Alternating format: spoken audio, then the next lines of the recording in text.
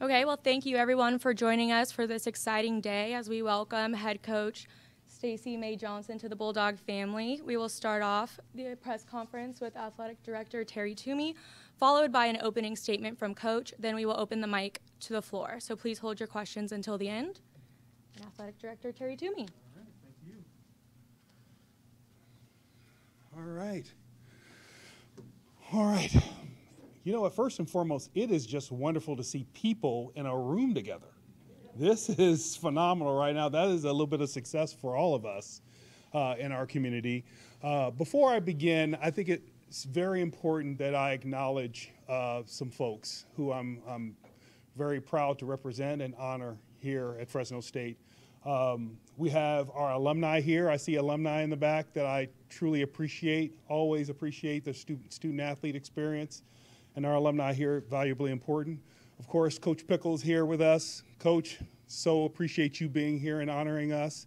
And of course, very good friend, Diane Milutinovich. Diane, thank you so much for being here. Uh, always an honor and a pleasure to serve you and serve our community. And I also see some of our benefactors here in the back and, and love those guys. I love all the folks back there in the back. I see everyone here, so very important. And um, so, with that being said, let's talk about what we're doing here today. And and you know what? I have one student athlete here. Haley, good to see you here.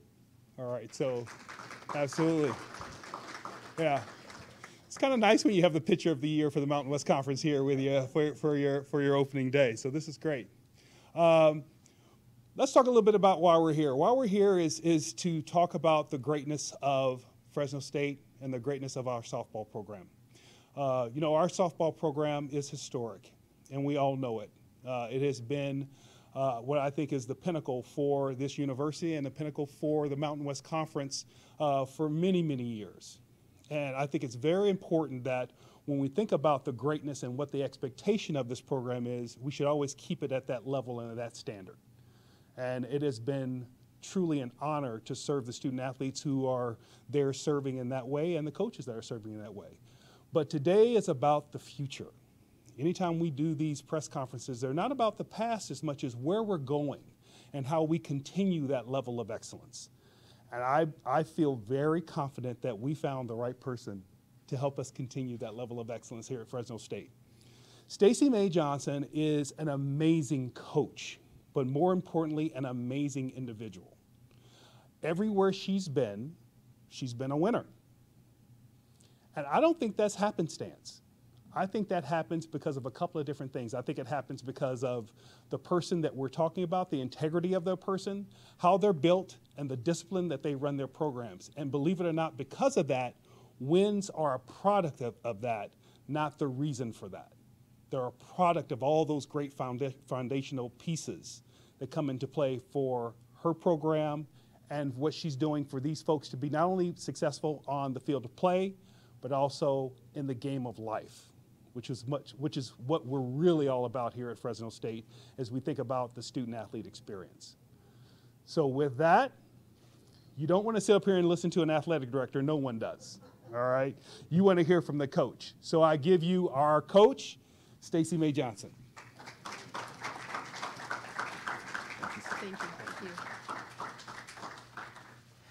All right. Well, wow, this is exciting. This is an exciting day. So, uh, first thing I want to do, I want to start off by thanking some people. Um, first of all, um, the people that hired me, the people who put me in this seat here today uh, President Jimenez Sandoval, Terry Tumey, David Hall. Uh, thank you to all of you and to the leadership for giving me this opportunity. I am very excited. Uh, Hailey Dolcini, thank you for being here. Yeah, I think you got some people excited about that. Um, our alumni, thank you, thank you for coming. This is awesome. And, and last but not least, our supporters. I know that this is a special place for a lot of reasons, the history, but the support from this community is very different. It's very different. It's much better here than it is in many other places. You make this place special. Thank you for being here. Um, so now that we've uh, got our thank yous going, um, I'm just excited about the future of this program. Um, Terry Tumey hit on it. It's not just about wins and the losses. Yes, it will be about the wins and the losses. We will win. Okay, but it is about developing our young women. They will walk out these doors graduates, prepared for the world in front of them, and I can tell you, you will see a team play harder than you've ever seen anybody play before. I can tell you they're going to run hard out to their positions. They're going to run hard to first base. We are going to do things the right way. And we believe that doing things the right way creates a product on the field that's successful. That's been the way that I've done things my life, and I'm excited to bring that here. This place is amazing. When you go back and look at the history, obviously the World Series, uh, the, the Margie Wright, you go back, it's amazing the things that have happened here. And for me, I don't think I'm coming in here and changing every. I'm not doing that. I'm standing on the shoulders of giants. That's what I'm doing. I get to uh, build upon what's already been built, and I'm super excited about it. Um, and and I, I can tell you this that our student athletes, they will honor the program be behind them, but they will also blaze their own trail. I think it's going to be something that this community can be excited about, something that um, our supporters and our staff and everybody that's involved with this can be excited about. Um, so that's what I had for you all, and uh, I'd like to open it up for any questions you might have.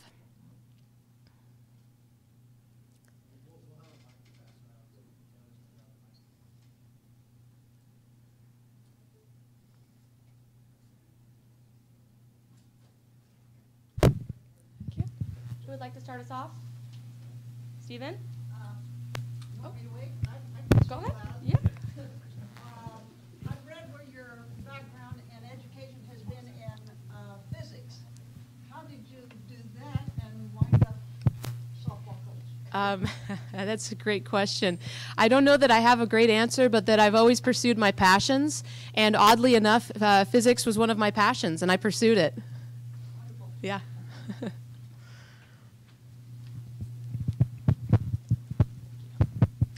Hey, Coach. Stephen Hicks from ABC 30. You talked about the, uh, the history of this program. What sort of potential do you see, uh, I guess, in this room and, and around this program going forward? Yeah, absolutely. Uh, that's that's exactly what I see when I look at this program. I see potential. I, I see the potential to uh, obviously first to win the Mountain West, second to make it to that regional, third to make it through that regional. Okay? And once you start doing that, you can make it to the World Series. I see that potential in this program. I would not be standing here today if I didn't believe that. Um, I'm excited about everything about. The, you go back again, the history. Okay, so so that that creates a brand, right? That people get excited about the facilities, the support, the staff. Everything is in place to have success here. Uh, and, and again, that was that was really the the big draw for me to come here.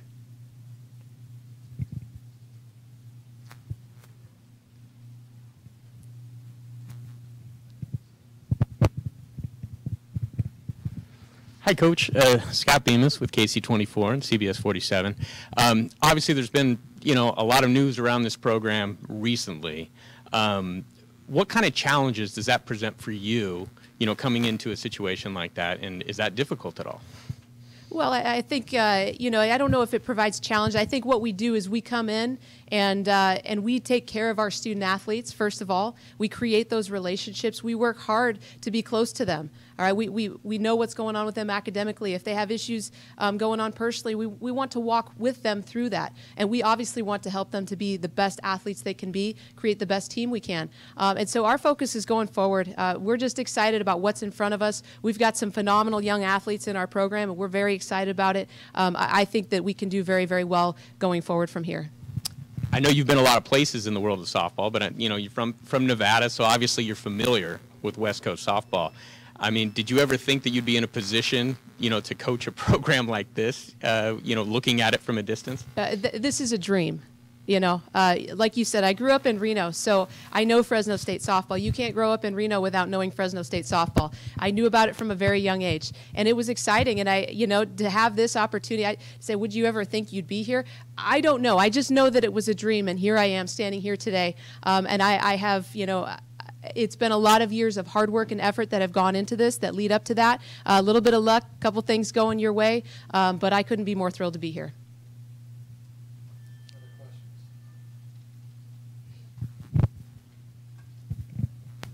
Jose Gonzalez, 740 ESPN. You're losing four or five bats in this lineup, um, and you do have a couple of really good freshmen now, sophomores. How do you approach that as a coach coming in, knowing you're losing some pretty good senior leadership, but you have some good talent back in? Absolutely. I, I think I think every coach is afraid to lose their top seniors. And and why are they the top seniors? Because they've been in the program for four years, they've been getting better, right? They've been working hard at their game, at their craft for four years. And so you never like losing your seniors, but that's a reality you face every single year.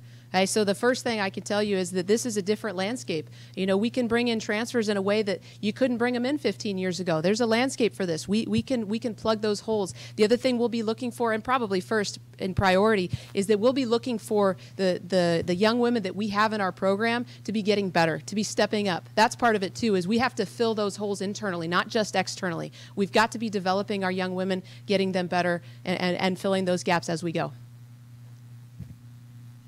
Any additional questions?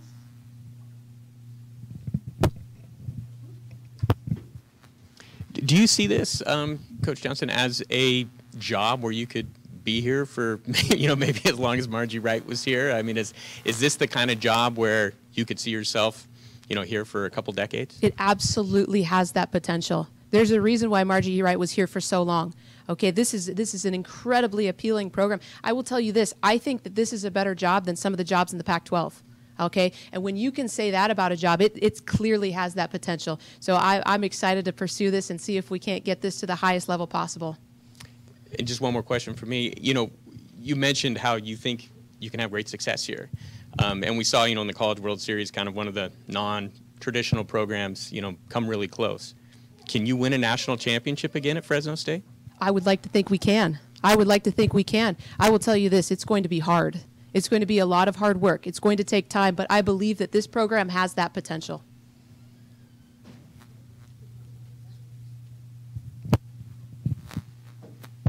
Any more questions?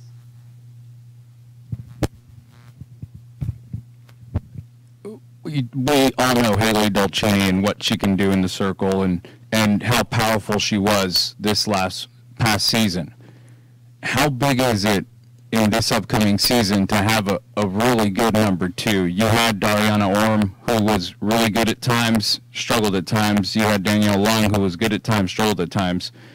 How do you, as a coach, make sure to establish that number two? Because you talked about winning a World Series, and you need a really good number two in order to get past that that regional. Yes, I, I think you hit it right on the head. Um, and I, I'm going to add to that. I think it takes more than a number two. I really do. I think it takes a staff. We've got uh, we're expecting Cassidy West to step up and throw some more innings this year. Okay, and we've got good people internally. It is going to take more than just two. It takes more than one. It's going to take more than two. Okay, because there's matchups out there. There's there's there's bad days. Sometimes you just go out there. You don't throw your best that day. We will need everybody to step up. This pitching staff will be a staff. They will learn to, to work together, to pitch together. Um, we will we will add depth um, in the bullpen as quickly as we can, and, and we will look to those pitchers to work together as a staff to complement each other. Um, again, and part of that is is yes, we need to protect Haley. We need her as effective as possible in May and in June. That's what we need. Okay, and that doesn't happen if we're throwing the heck out of her in February. So you know that's something we're going to have to take a look at. Additional questions?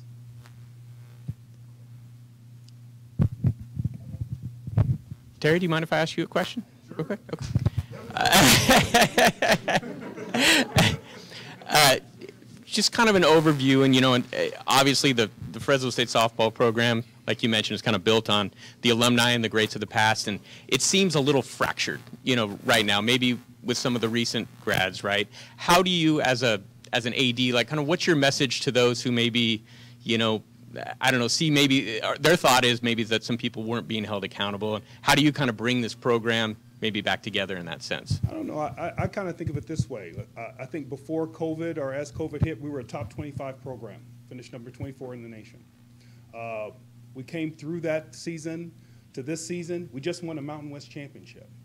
We had we were on the precipice of beating the number two team in the nation at UCLA. I don't see a fracture. What I see is a great program that's getting better. And what I see are, is I'm surrounding these young students with people who will invest in them. If I've got a supportive administration, I've got coaches who are going to invest in student athletes, and I got talented student athletes, I got a championship experience, and I'll take it all day long. So that's where I see where, where we are. It's pretty simple stuff. Any final questions?